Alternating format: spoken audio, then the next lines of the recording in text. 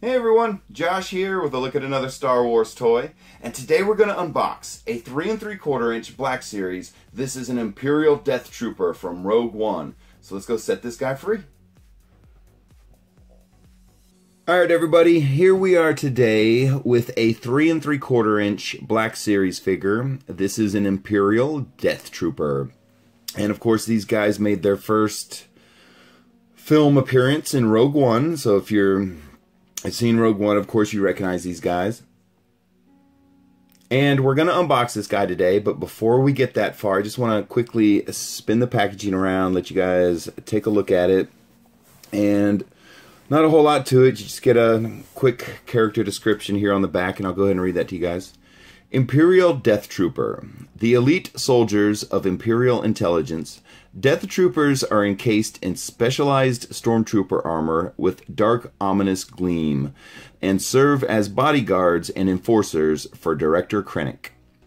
And so, if you saw the Rogue One, of course, you remember these guys pretty much were went almost everywhere Director Krennic went, except when he was talking to Vader and stuff like that. But um, they're his little team of soldiers, I guess, is what they're trying to get, the point they're trying to get across there. And, of course, these are fan favorites because of the, I mean, who doesn't like dark black stormtrooper armor? I mean, it's, it's freaking awesome. Come on. So, okay, you can see it comes with two blasters. You get a pistol and a rifle here. And we'll pop those out, take a look at them in a second. And and of course, we want to take a look at the Death Trooper himself. And unfortunately, these guys don't film really well due to the all black um, outfit. Oh, very cool. Wondering if that moves. Okay, so one of the things I'm I'm I'm seeing first here is, of course, all the detail for the on the figure and looking at the like you can see the ammo pouches, grenades. He's got this extra ammo belt, and you can see it's not molded to the figure. It's loose, but I don't really see where you can take it off, or if you wanted to. As I know they make versions of them without all the ammo belts on, and it looks like here, unfortunately, it's just not filming that well. um, if you look here, you can see what appears to me to be behind the pouches on his ammo belt. It looks like there's a way you can disconnect the ammo belt. Yeah, you can. Okay, but I don't know if it's going to come all the way off. it looks like you might have to pop the head off to get it off. And to be completely honest with you, what what it is is the whole thing is one one giant part. So like you can see there's a little tiny buckle here that where you can strap it in underneath this little ammo pouch. And there you go you can kind of see the the little tab on it where you connect them but then it then the straps go up to the shoulder part and they're connected and it looks to me like the only way you're going to get it off is you're going to have to pop the head of the figure off, and to be honest with you, I don't really want to do that. Well, it's too late now. I already started. Let's see here. Yep, okay. There you go. So if you want to remove the... And there you can see what a figure's head looks like when you remove... Or figure looks like when you remove the head, and they just pop off. Um, some of them are meant to do that, and some of them aren't. I don't really like doing it because I feel like I'm doing damage to the figure. But there you go. You can see the ammo um, belt and shoulder pad all has one part. So, and none of these grenades come off. They're just, they're molded on there. So you can see, but they do look cool. Okay, so here we go. Here's the figure, and it's not really filming all that well, but if you actually look, his, the little circles on his mask where his mouth would be and the eyes have like a greenish tint to them. It's very in the eyes it's very light, but you can see it a little bit more on the the mouthpiece. You can see there's like little green circles, and the eye pieces of the mask actually have like a slight green tint to them. And then there you go. You can see this little mechanism on the helmet, and I was wondering if that moves kind of like on Boba Fett's, but it doesn't appear to be. I thought it might have a little movement to it. But there you can see them, and yeah, these figures like this and Darth Vader, they just film really horribly because they're in all black, and, it's just not a good thing for filming. Okay, so let's run through his movements real quick. Here we go. Let's see here, and of course you saw his head was on a ball joint, so you have a little up and down wiggle, and of course full rotation. And then looking at his arms, you have an up and down movement, and you're getting a little bit of restriction on the movement due to the shoulder pads on the armor or the shoulder plate. So and then you so there's your up and down movement at the shoulder. You have you should have full rotation. It's a little bit stiff, fresh out of the box, but full rotation at the shoulder. And let's see here. You have an up and down movement at the elbow and a rotation. And okay, you have rotation at the hand and you have up and down at the or at the wrist. So you have up and down movement as well. And then coming down to the body here, let's see here. You can see the articulation and how they hit it under the armor plating. So I like when they do that because you know you're gonna have these points where the armor ends and stuff like that, and that's a good place to put the articulation and blend it in. And I like it when they do that. Makes it look more natural. And then let's see here. looks like he might have waist articulation too. No, okay. And then he has another belt on with ammo and stuff. And I'm trying to look and see here because it's not. Yeah, okay. Actually, this one's removable too. So you can see the waist belt comes off and it's the same thing. Got a little buckle a little tab and that's all it appears to do. So you can take the all the ammo belts off and that's pretty cool. But you can see he has like a little cutout at his waist and it doesn't look natural at all. So I don't really think this one was meant to come off but for some reason they made it so you could take it off. And then looking at his legs here you should have a rotation at the hip which he does which then you have a like side to side movement and then he has another point of articulation up here at the hip. You can see it's it's right under the plate armor on his upper leg so you can rotate his leg in two points up here at the hip. And then at his knees you have up and down and rotation and same thing at his ankles. You have an up and down movement and you can rotate his feet as well so that appears to be all his articulation.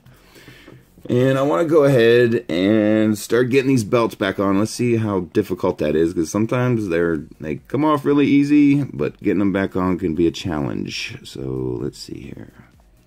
Okay, no problem. Snapped right together. Went right back on. Looks right. Now let's try this. Again, we're going to have to remove the head and you put the shoulder pad on and then wrap the waist and it should buckle right up I'm hoping. Very good. Oh wow.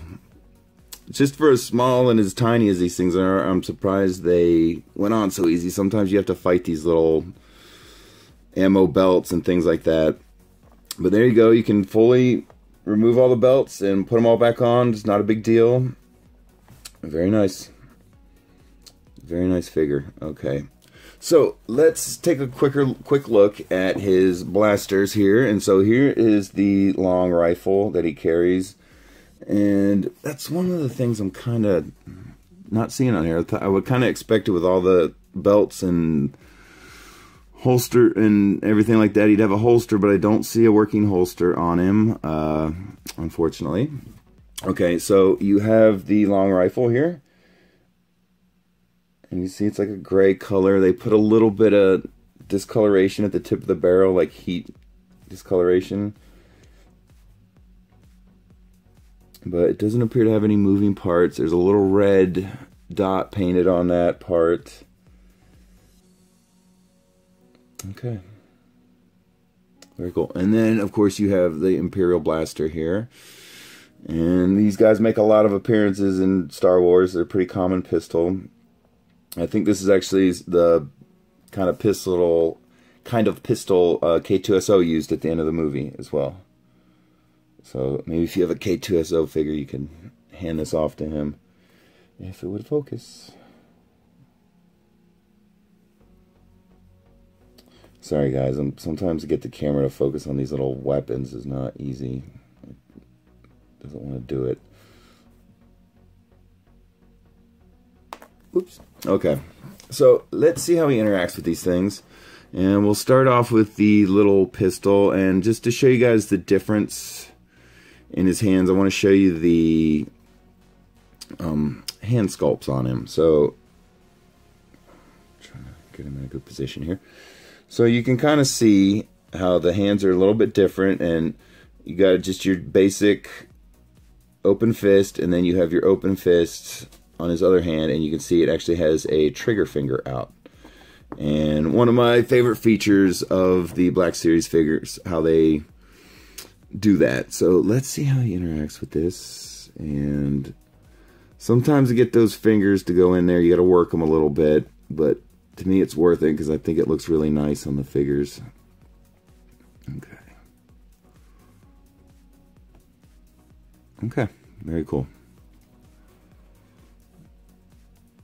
Not totally going in there. Yeah, it is kind of. It's in there, but it's not like poking all the way through. So. Okay, so there he is holding the little pistol. And again, you can see how the whole trigger mechanism and trigger finger line up. Very cool. I like it. All right. And just real quick for to be thorough, will he hold it in both hands? And to me, it looks like he's to be able to. But there you can see the difference in that way he holds it in each hand and how the trigger guard is more exposed and there's no finger in it. And the gun sits a little bit higher in his hand. So that's all right. And then you have the rifle. We're going to see how he goes. And you can see there's no trigger guard on it, but they actually put a, a trigger on there. So you can kind of, I guess, poke his finger under there. And let's see here. Okay, so he holds it, and on mine, he doesn't have a real tight grip on it. You can see it's a little bit loose. He had a much better grip on the pistol. It stayed in there really well. But on the rifle, you can see, and I think the actual rifle is meant to go in his hand without the trigger finger out and yeah it fits much better it's much tighter grip. So just to show you what it looks like. Get this. Come on. Here we go guy. All right. So if you wanted to you can have them double up on the guns. You can have them put one in each hand.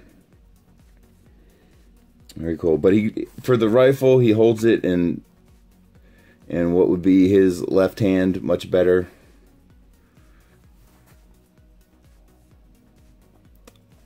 and it's in there. He's got a much better grip on it. You can see he holds on to it. They're not coming out. And that's what you want to see. All right. Very cool. All right. Time for the final test of quality. Will this guy stand on his own?